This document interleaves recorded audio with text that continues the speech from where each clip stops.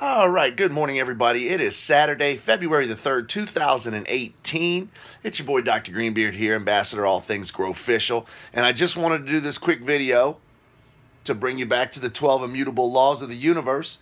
And today, I'm going to quickly talk about law number eight, the one that was the mouthful to say, but it's honestly probably the easiest and most important concept to understand. It's basically the law of perpetual transmutation of energy. All right, now that sounds like a lot to say, but in simple terms, here's what that means. All right, it basically means that all persons have the individual power to change the conditions of their lives. All right, if you have higher vibrations, those will consume and transform lower ones. Now, when we refer to higher vibrations, we're, we're talking about success vibration versus lower vibrations, failure vibrations. All right, that's what I mean when I say vibration in this situation. So you literally control the world and the energy around you.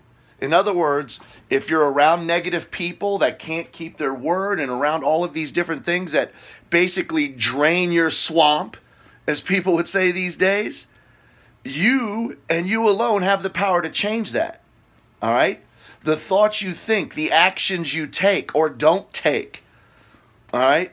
These are all things that are controlled ultimately by you.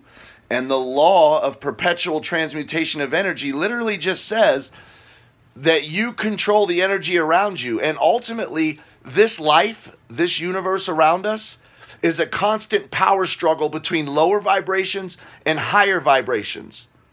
All right? And you'll notice that all of these tie into each other because the law of perpetual transmutation of energy also ties into the law of vibration, the law of action.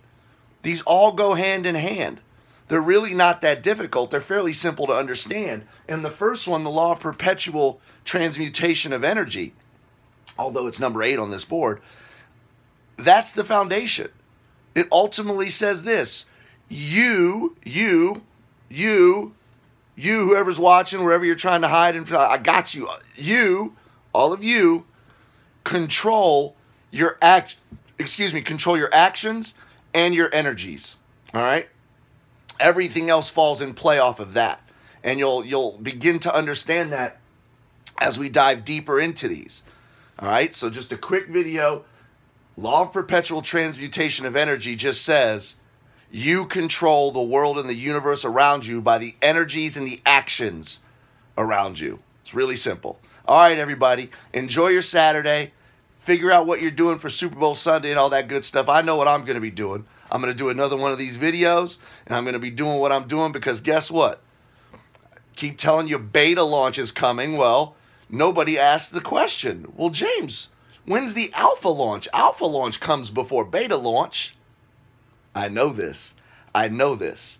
And I have a feeling that the answer might be a lot sooner than you think. So be on the lookout next week for Alpha Launch. You dig? All right, everybody. Saturday, February 3rd, 2018. It's your boy, Dr. Greenbeard here, letting you know that you are responsible for the universe and the energy around you in it. You dig? All right, everybody. We'll see you again real soon. Peace.